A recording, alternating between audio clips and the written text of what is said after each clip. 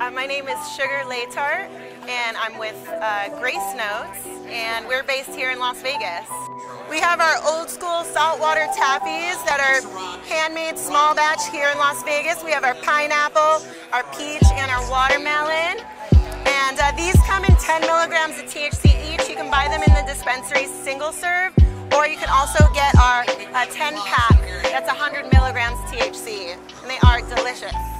These are our Grace Notes artisan chocolates. We have our two dark chocolates and our milk chocolate. We have a dark chocolate and a salty potato chip. We also have our sea salt English toffee. The toffee is uh, in-house made in our facility and also our milk chocolate is our apricot and toasted coconut. The chocolate squares come in a 10 milligram THC and then they also come in a bar with 100 milligrams. Uh, we produce all of our products here in Las Vegas, small batch, handcrafted, made with love, and we focus on quality and consistency. All of our products, no pesticides in any of our source material.